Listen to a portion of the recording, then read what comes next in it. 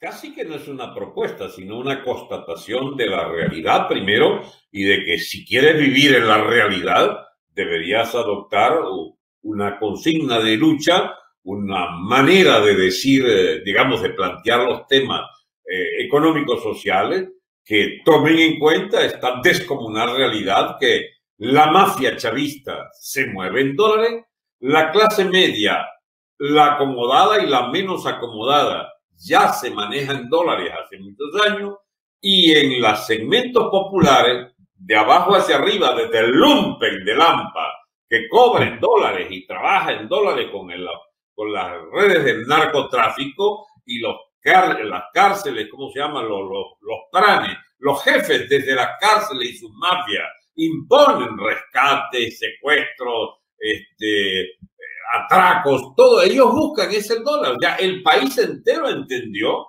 que no hay una moneda nacional, sino como subterfugio, como auxiliar, como una moneda allí que le sirve para llevar, llevar una contabilidad casi surrealista, de, de, que existe todavía un Bolívar que, para que tengas una idea, eso al Bolívar original de antes de Chávez había que agregarle por lo menos 20 ceros. Este, y entonces te resultaría que, no sé, un caramelo de hoy debe costar un millón de bolívares de antes, eh, de hace 15, 20 años.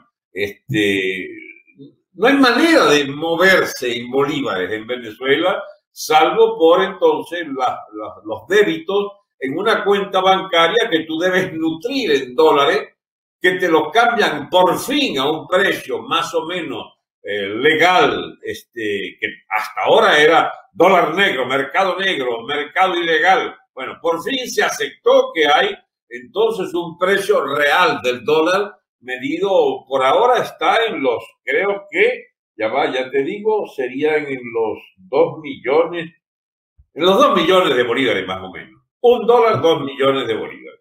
Eso significa que eh, un jubilado universitario que recibía siete, seis millones de, bolívares, bueno, lo que está ganando es cuatro, cinco, seis dólares, no sé a cuánto eh, está cada categoría de jubilado. Pero en todo caso, esa locura, esa irrealidad, esa ficción de una economía del Bolívar, eso ya no existe para los efectos, por ejemplo, de quien va a comprar en Caracas, en algún sitio donde haya muchas mercancías, las va a conseguir de lujo, con exquisiteces y qué sé yo, y toda todo el confort posible en las instalaciones de lo que se llaman los bodegones o supermercados de clase de primera clase, donde por supuesto pagas en dólares.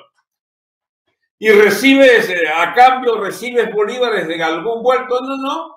Tú pagas en dólares con una tarjeta. Y si vas a pagar en bolívares, te lo confieso que esa parte eh, se me olvidó preguntarla. Tú puedes ir al supermercado y pagar en bolívares con una cuenta de banco donde tienes muchos millones de bolívares. Bueno, eventualmente debería ser legal, porque no pueden, no pueden negarse a aceptar el curso legal del Bolívar. Pero entonces tienes que pagar, por ejemplo, por un kilo de pescado, 8 o 10 millones de bolívares. Si haces un mercado, eh, digamos, de un carrito lleno de cosas, estamos hablando de 2, 300 dólares. Estamos hablando entonces de 600, 700 millones de bolívares.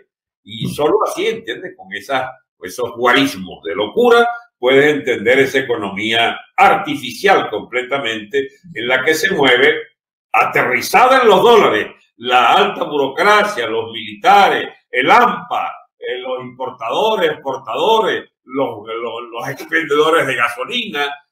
Esa es la moneda real. ¿Qué es lo que he dicho? Bueno, chicos, pero págame en dólares entonces, ya que todos los gastos se hacen en dólares, tú vas a reparar una nevera, te cuesta 30, 40 dólares, vas a una fría, quise una, tú vas a reparar un automóvil, vas a comprar un, caucho, que si yo te cuesta no sé cuántos dólares, vas a pagar el condominio de tu edificio y ahora te piden 40, 50 dólares. ¿Cómo es la cosa? Entonces, ¿cuándo vamos a ganar en una moneda en la que uno pueda comprar para comer o pagar las cosas que necesite? porque no te dan, tampoco te dan bolívares en efectivo. El efectivo que circula es el de eh, digamos, la, ¿cómo se llama? La tramposa maña de que circulan los, los billetes de 5 dólares. 5, 10, 15, 20, el de a uno cada vez menos. Resultado que no hay precios bajitos para nada, porque todo está sencillamente artificialmente manipulado por ese pase al dólar masivo, pero tramposo al mismo tiempo, porque los precios en dólares a veces duplican los de Miami. Por lo mismo que tú comprarías en Miami un par de kilos de harina de, de, harina de maíz, por ejemplo, allá te vale, allá te vale el doble. Por lo que te cuesta un dólar, allá te vale dos o tres. Entonces, ¿cómo es esta historia? Exigimos que se nos paguen dólares los empleados públicos, porque muchos ya están dolarizados. En algunas categorías de trabajadores especializados, los que trabajan a domicilio, los que, hey, los parqueros que te ayudan a llevar al automóvil, los mesoneros, los, en los restaurantes, todo eso está dolarizado. Pero entonces, el empleado público no está dolarizado. O sea, él sigue ganando 4 o 5 dólares mensuales. Y aquí en Estados Unidos, el peor salario es 10 dólares la hora. Entonces, para tú ganarte 10 dólares en Venezuela, tienes que trabajar todo un mes o 15 días eh, o dos meses para ganarte 10 dólares. Ya va, pues mm. eso te gana aquí en una sola hora. O sea, ese absurdo de esa economía dolarizada, para ellos, pero no para el trabajador, nosotros decimos, basta esta, esta locura. Paguen en dólares, señor Maduro. Usted quiere tener empleados públicos, páguelo en dólares para que puedan sobrevivir con algún mercado por lo menos de 100, 200 dólares mensuales. Que tengamos el peor salario de América Latina, pero que lo tengamos en dólares, para poder entonces pensar que con un salario de un mes, tú puedes ir a un mercado y comprar 8, 10, 15 artículos, por lo menos. Pero esto de no tener sino para uno, dos o tres artículos, este, porque te han pagado 10 dólares en bolívares, eso no, no, no tiene más sentido, Dios mío. Y bien, es una consigna necesaria. Yo la empecé a difundir cuando veo que hay una manifestación de médicos de distintos puntos del país donde exigen esto, páguenme en dólares.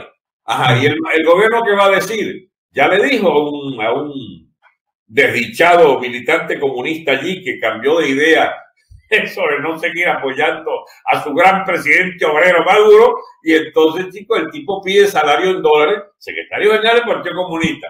Le han dicho hasta del mal que se va a morir, además de agente del imperio y enemigo de la clase obrera, porque pidió que se pagara en dólares también. Resultado, hemos pasado la lista de enemigos número uno del régimen al pedirle que el gobierno pague a los empleados de Venezuela, a los empleados del Estado, su salario en dólares.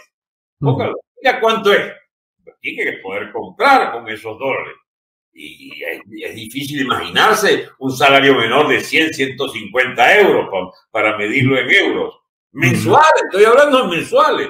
Bueno, eso sería una fortuna eh, 150, 200, 200 dólares por mes, sería una fortuna porque ahora solo reciben 5 o 6 dólares al cambio en bolívares, que no compra, que no puedes usarlo además porque no hay plata en efectivo. ¿Viste el enredo en el que estamos metidos? Bueno, ese es el resultado final de esta economía vudú del chavismo que reventó la economía, reventó los salarios, reventó los ingresos, reventó los alquileres, reventó la, todo lo que signifique transacciones en una economía capitalista y ahora quedamos es en esta especie de, locura nacional eh, dirigida por estos zampones.